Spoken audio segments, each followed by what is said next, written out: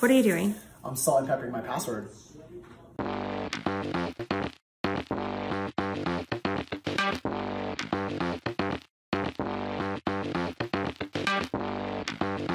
Hey folks, I'm Andrew and welcome to All Things IAM, where we talk about everything identity access management.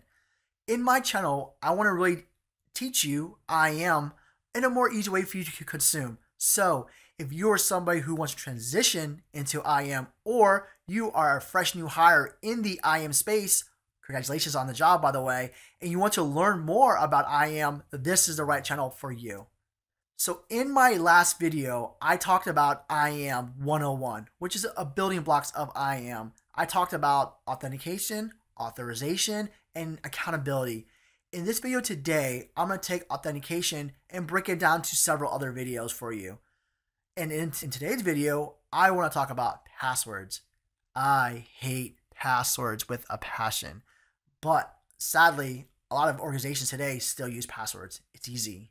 So I'm going to talk about what are passwords, how easy they are to get hacked, and really what happens in the backend when it comes to passwords.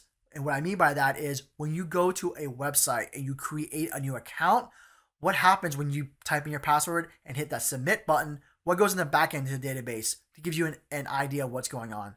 So before I get started, let me give you a quick brief summary of authentication.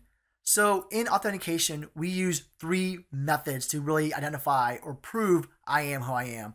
The first one is what do I know, which are passwords, pins, maybe security questions. The second thing we can use is physical tokens. So a YubiKey we can use a software app that tells you like a one-time password. And then the third thing is biometrics, which is more or less facial recognition. Your fingerprints are a couple ways. Even your voice is an option. So that's a brief summary of authentication and the three ways we can kind of use authentication from that perspective. And now let's go into deeply passwords. So as future IAM practitioners or current practitioners, when we talk to customers about passwords, the first questions I like to ask customers is, What's your password policy today? How do you enforce that? What goes behind the scenes when it comes to password policy? What do I mean by that?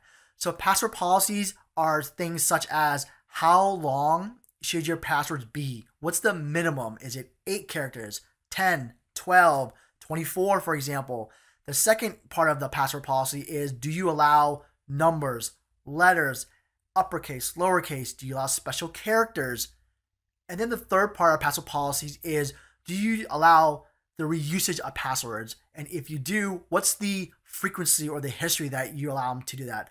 On a personal note, I always suggest to customers we do not allow passwords in terms of rehistory because again, most people are so easy they kind of want to reuse passwords again and again and again and just add like a one or a two to it. It's easy to get hacked. So technically, what I always love to tell customers is let's say every 30 passwords you might be able to reuse again, or let's not use password history at all. And the fourth thing sometimes when I ask customers about their password policy is do you allow simple passwords? What are simple passwords? Passwords, beach, your your name, your date of birth. People actually use those as their passwords, which is crazy, but it's true. You wanna know why passwords are awful? Because of us humans. We make up the dumbest passwords known to man we use the most easiest things that we can remember. We use our name, our kids' names, our date of birth. You know what's even funnier? We use password. We use passwords. And it's true because password is the number one used password that is used across the board. There are studies out there that said, what is a common password out there? It's password. It's crazy. It's mind blowing. So when we talk about passwords and how that works behind the scenes, we want to be, be able to make sure it's secure. I talked about policies. Now let's talk about the ways that passwords can get encrypted. So we talk about policies. We think that it's policies should be standard across the board, right? Like when you go and create a new account, it should be out there and straightforward. But what's funny is some companies today don't do that at all. And here's an example. So I'm going to blur out this company because I don't want to get flack from them if I call them out. But look here. You can see this company here, there's no definition of what their password policy should be. So if I create this account here, so I'm gonna create my name, I'm to put in a last name, I'm to put in email, I'm to put in the password. So let's just try password. Is it to let me do it? So I hit the create button. I didn't get an error message, which is mind boggling. So I'm assuming that means password is accepted, which means in the database, when I when I go and look at my account or in that backend, there are there is an account for me with a password or my password is going to be password when it gets decrypted, which again just it blows my mind. But now let's look at another example. So look at let's look at Gmail. So in Gmail, they tell you what their password policies is, which is good. It's a start. And again, we don't want to make our password policies too complex that our customers have no business or they go, you know what, I ain't doing this. This is too hard. But you also want to make it hard enough that hackers, because hackers will get into databases, that it takes them a longer amount of time to decrypt or crack that password. So let's talk about the processes of passwords. So, like in my example, I went in, I created a new account, I put in my password. What happens in the backend? So, in IAM terms or in the cybersecurity world, when we create a password and it's out there for the public, it's called plain text passwords or plain text. And that's just simply term is it's easy, it's out there. There's no encryption or anything going on there. What typically happens is once you get that plain text password, it gets encrypted in some form. I mean, we never want to save plain text passwords out there the public, right? Yeah, they did it. So, you know, it happens. It sucks. So when a password is created in the backend, we want to hash it. And you're like, what in God's green earth is hashing? Think of hashing as you take your password, your plain text password, and you scramble it up.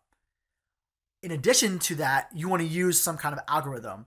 The two common ones are message digest or MD or secure hash algorithms or SHA. Now, you take your plain text password, you take one of those algorithms. So let's let's say we take SHA for example, and then we're going to take that, combine them together, and then it comes out this nice, beautiful hash. So now you would think, hey, guess what? I use my plain text password. I use this hashing algorithm. I should be secure, right? Nope, not true. So when your password gets saved to a database and we want to hash, another way for us to really make that password and the hashing much more secure is salt and peppering your passwords.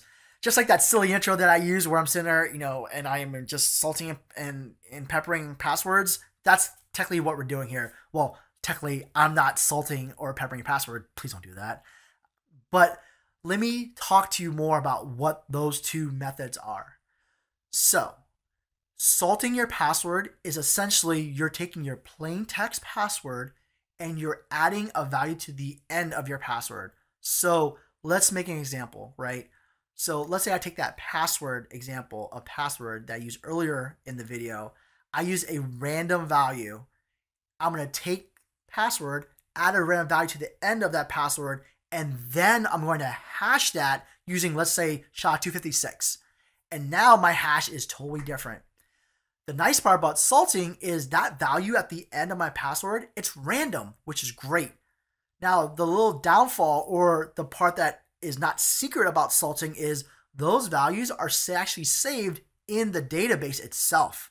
So if somehow the database gets hacked and the hackers find those salting values, they can figure it out from that perspective. So that's really the the the bad part, or I'm, I'm not sure it's really a bad part, but it's really the only con, I guess, of salting is the fact that it is not secret. It's actually saved in the database. Now, another method is pepper or peppering your password. Now, similar to salting, what you do is you take, again, your plaintext password, you take the end value and you add it together. But here's the difference. In peppering your password, that value is static. So it doesn't change at all. Where in salting it does. The difference is though the the value it's secret. So ask yourself, why do I need to secure my password like that? Why can't I just use SHA-256 or MD5 with with my plaintext password and encrypt that together? The problem is hackers have two ways that they can really hack or crack your passwords. Number one is an attack called a dictionary attack. Really, what that is is simple. They take all the common passwords that, that they have and they go in and, and they add that all the time when they log in. Bang, bang, bang, every single time. So take the, take a random username and let's say they figure it out, and then they say, you know what, I'm going to just randomly throw in passwords in there, and hopefully it hits. So what I didn't talk about earlier when we talk about your password policies is hopefully your customers has lockout policies. And what I mean by that is simple. You can set a value in let's say Active Directory, for example, that most of my customers use today that say after five failed passwords, the account is disabled, right? Hopefully that's something that customers implement today. Because if they don't, those dictionary attacks will work. And they'll use software to go in and just pop in the value every single time and hit, hit, hit until they find that value. Another way that they can attack is called a rainbow attack or using a rainbow table. So what that is is it's a massive table of hashes. And again, it takes those common passwords and it takes the common algorithm. So again, MD5, for example, SHA-1, SHA-256, and it'll take the output hashes, it'll store it. And what will happen is if a hacker has access to your database and they find all the hashes of a customer information, they'll go and start to search and find saying, hey, what matches from my rainbow table into those values and see if I can figure out the password there. The interesting part too is they don't need the full hash to get access. They can take bits and pieces, and once they make that match, they'll just say, okay, that's the part of the password. Let me figure out the rest. And then that's when, boom, that happens is they'll eventually figure out the rest after a couple hours of running some scripts they'll figure out your password and get access and go to town on whatever your account is. Or sadly, if you're a person that saves your credit card information to your account, they might be able to buy stuff off your account. Not always the case, but it can happen. So again, that's why when we secure our passwords in the back end, we want to make sure that we use again plain text password plus a hashing algorithm plus adding either salting or peppering your passwords. So I just gave you a small dosage of passwords and how they're encrypted in the back end. There are people out there who do this for a living and they know tons of cryptology, they know encryption, and they give you more and more information. But I really want to give you something that you can really consume easily. And for people who are getting IAM, it's good to have these questions in your back pocket. Again, we go to customers, hey, what's your password policy today? Do you have a password policy? Oh, you don't? Well, let me give you some guidance or some best practices how do you guys handle encryption when you say passwords? These are great questions to ask. And again, they're simple. And then what you always want to do is when you go into customer sites, you know, have a person with you who knows more uh, technically, and they can answer more questions that are more down in the weeds, but at least you're getting the conversation started. And that is all you need to know is to get the conversation started and then you build from there. So in the next video, I'm gonna talk more about physical tokens and software one-time passwords uh, or authenticators as we call it. You know common ones such as microsoft authenticator lastpass google has authenticator these are common ones on people's cell phones and i'm to talk more about how that works today. If you have other ideas or future videos you want me to talk about again tell me down below in the comments. I'll be more than happy to create a video for that. So i'll leave you with this passwords are not going anywhere, even though I know Microsoft has started to move away from passwords or what we call passwordless.